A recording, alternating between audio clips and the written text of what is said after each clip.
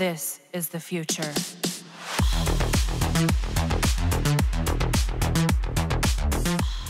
This video is all about the Arsenal Divide, or the melee nerfs and gun buffs that Digital Extremes will be doing in the Sisters of Parvos update. Okay, this is not a rant video in case you want to click away. Instead of doing that, I will be giving you information on how these things will affect specific combos, warframes, and builds in the game. Also, I will share my opinion on the pros and cons of each buffs and nerfs for the melee and gun system. So, let's cut any long introduction and begin this video. First, let's discuss the attack speed nerf for melee weapons. Now, this is actually a good change since the developer did not nerf attack speed bonus, but only the Berserker mod. I thought that they would lower the attack speed cap bonus that we gain from mods and abilities but, they only nerf Berserker which is a good thing in my opinion. From now on, instead of getting the attack speed bonus from this mod per critical hit, you will obtain it per kill and it can only stack two times now for a maximum of 70% attack speed bonus for 10 seconds. Also, they pointed out that this mod will not stack with Prime Fury anymore. I don't know about you, but once this change is implemented, I think I will go with Primed Fury for most of my melee builds. Simply because the 55% attack speed bonus of the Primed mod is more reliable than Berserker when this change is applied. This is just a personal preference, though still, the Berserker mod cost lesser mod capacity than Primed Fury and most of the newer players can get it right away compared to Primed Fury. Also, kills in this game aren't that hard knowing the melee weapons will still outshine primary and secondary despite the upcoming nerfs. The fact is, players will still fancy using melee weapons in Star Chart missions or Steel Path since it can hit multiple enemies in each swing compared to most guns that are single targets. They did not also mention about abilities not stacking with attack speed mods anymore so, it's safe to say that all kitties Warcry will still boost your attack speed, and also, Volt Whack and Slash will still exist. Not to mention that Wisp and other warframes that have speed bonuses will work with melee mods too. While it won't be a big problem, but I see a slight decrease in effectiveness for Exodia Contagion builds. The projectile of Exodia Contagion depends on attack speed mods and speed buff abilities so, I think you will have a very small problem with its projectile speed. But it's too small to even notice since Exodia Contagion kills faster and they didn't nerf combo counter which is also a good thing for this update. I'm quite surprised they didn't touch the combo counter, but it's a good move by Digital Extremes since many will be furious if they did this. In my opinion, touching the combo counter will probably just revert their Melee 3.0 rework, and it's good to know that we can still keep the fast method of acquiring combo count because honestly, the combo counter at max will be the only one keeping the community interested in using the next mod that will also get nerf in the Sisters of Parvos update, the Acolyte mod called Blood Rush. If Digital Extremes nerf the combo counter, then this Blood Rush mod will suck so hard since it will only give 40% chance stacks with combo multiplier. This only means that we need that max combo count right now to even hit orange critical numbers on those heavy crit weapons.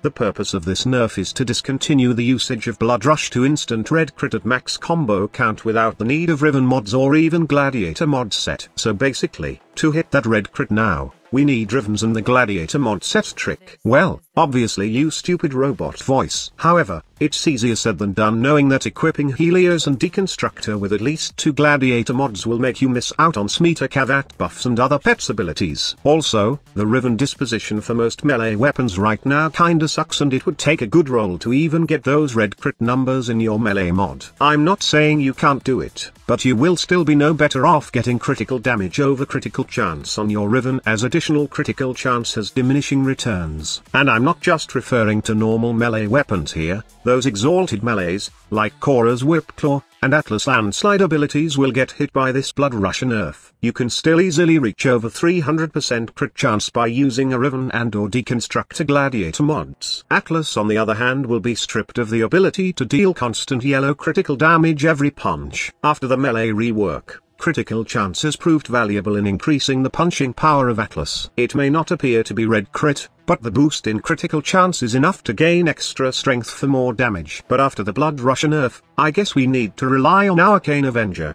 or other sources to build up the critical percentage. Better yet, we might revert to the old ways of no crit mods for Atlas Landslide. The 20% drop in critical chance bonus would definitely change almost every critical builds. I'm not saying that it will be chaotic but, it would take more than just modding I guess to help you get that red crit numbers especially with those weapons that are not heavy in critical chance stats. Next we have the condition overload nerf, along with the nerf of one of the best primer guns in the game, the Kuva Nukor. Condition overload will now only have 80% melee damage per status type affecting a target. This is a big drop if you ask me but certainly makes it balance against the primed pressure point mod. While it's not a big deal but I'm not a big fan of this nerf because most of the time, condition overload setup outshines primed pressure point only if you are using a fast attack build in your melee weapon. It's still favorable to have primed pressure point in those heavy attack builds for the constant death blow. I don't know if Digital Extremes know this fact, but there's a distinction in building for a condition overload and primed pressure point setup. I know that the damage of condition overload is far superior when you have inflicted a lot of status on enemies but,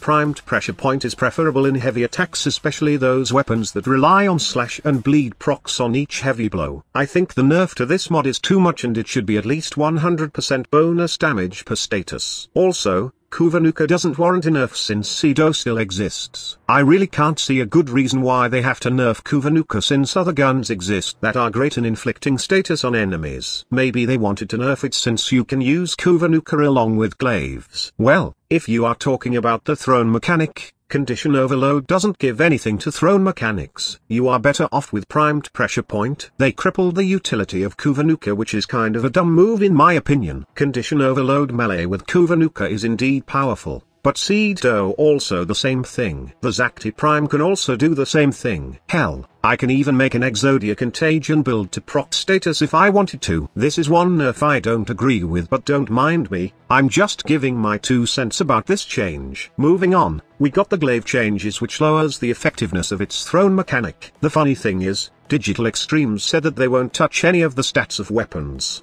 but they did nerf the direct hit and radial damage of the glaives along with its wind-up speed. From 0.6, it's now 1.2 seconds so you can watch how amazing the animation of a thrown melee weapon is. Now, you will decide to opt out for a fast attack glaive build and get mesmerized by the awesome stances that it has. Good stuff. Next, let's tackle how they will increase the power of primary and secondary weapons. Now I posted a video about a possible leak on new primary and secondary mods, but I guess they are currently placeholders and we might see them shortly. For now, what Digital Extremes showed us are a couple of new gun-specific arcanes, and the galvanized mods for both primary and secondary weapons. The intention to buff guns with these arcane and mods are there, but the execution is flawed in my opinion. First of all, the arcanes proc only on kill. I know most of you will tell me that it's not a problem since you can kill easily even high level enemies but the thing is, there are also those players who love running endurance runs and it would be better if the damage buff will proc after you do a headshot or even a critical hit to the enemy so it would be reliable even against enemies higher than 300 levels or more. You can also argue that it's easy to kill enemies with the right weapons and setup but that's also the problem, not all weapons are powerful.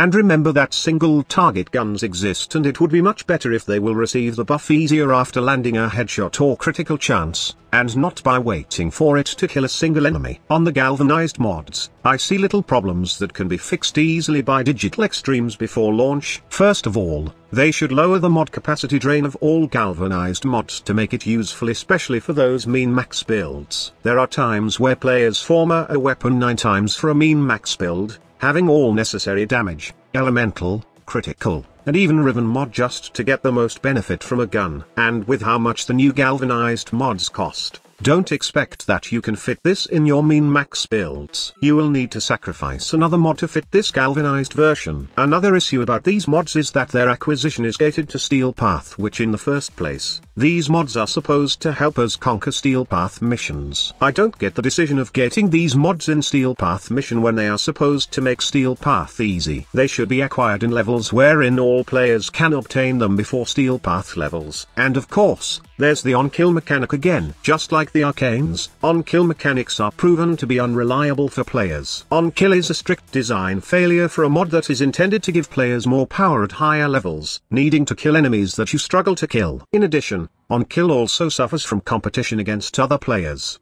or even the user's Warframe abilities. Overall, it's a mechanic that Digital Extremes should forget if they want guns to be powerful with these new arcanes and galvanized mods. I'm hoping in the next few days, we will see them changing this mechanic, then add and fix all the stuff we showed here on this video. Let me know your thoughts about the Arsenal divide in the comment section below. Do you agree with the buffs and nerfs? Or did Digital Extremes overdid it? Thank you so much for watching. Squad Leader signing off.